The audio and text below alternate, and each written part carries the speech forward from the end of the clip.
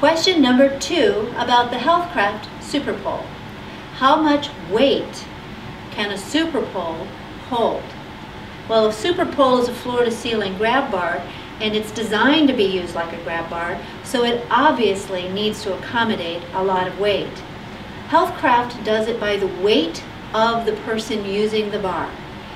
The basic SuperPole can accommodate a person who weighs up to 300 pounds. A SuperPole Heavy Duty can accommodate a person who weighs up to 450 pounds.